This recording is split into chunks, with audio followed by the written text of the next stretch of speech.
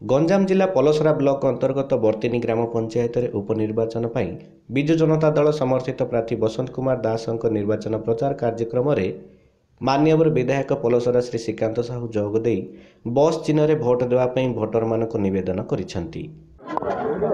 କ'ଣ କହିବେ ଆଜ୍ଞା ଆଜି ଆଜି ବର୍ତ୍ତିନୀ ପଞ୍ଚାୟତର ସମିଶ୍ର ପାଇଁ ଉପନିର୍ବାଚନ ହେଉଥିଲେ। ମୁଁ ଆସିଥିଲି ଭୋଟରମାନଙ୍କ ସହ ଭୋଟ ଭିକ୍ଷା କରିବା ପାଇଁ ଆମ ପ୍ରାର୍ଥୀ ପାଇଁ। ବିଜୁ ଜନତା ଦଳ ସମର୍ଥିତ ପ୍ରାର୍ଥୀ ବସନ୍ତ ଦାସ ବସ୍ ଚିହ୍ନରେ ଛିଡ଼ା ହେଇଛନ୍ତି ମୁଁ ଦେଖୁଛି ତିନି ଖଣ୍ଡ ଗାଁର ଆପଣମାନେ ଦେଖୁଥିବେ ଶହ ଶହ ଲୋକ ଆମ ସହ ପ୍ରଚାର କାର୍ଯ୍ୟକ୍ରମରେ ସାମିଲ ହେଇଛନ୍ତି। ଏଠି ବିଜୁ ଜନତା ଦଳ ସମର୍ଥିତ ପ୍ରାର୍ଥୀ ନିଶ୍ଚିତ ଭାବେ ବିଜୟ ଲାଭ କରିବେ। ଏବଂ ଖଣ୍ଡୁରୁ ଗ୍ରାମର ପୂର୍ବତନ ପଞ୍ଚାୟତ ସମିତି ଅଧ୍ୟକ୍ଷା ପ୍ରତିନିଧି ବିକ୍ରମ ସାହୁ ଓ ନିମିନା ଗ୍ରାମର ପୀତାମ୍ବର ସାହୁଙ୍କ ନେତୃତ୍ୱରେ ଦୁଇ ଗୋଟି ପଞ୍ଚାୟତର ଶତାଧିକ ବିଜେପି କର୍ମୀ ଦଳ ଛାଡ଼ି ବିଜୁ ଜନତା ଦଳରେ ସାମିଲ ହୋଇଥିଲେ। ଗଞ୍ଜାମ ଜିଲ୍ଲା ପଲସରାରୁ ବସନ୍ତ କୁମାର ସାହୁଙ୍କ ରିପୋର୍ଟ ଉତ୍କଳ ଖବର।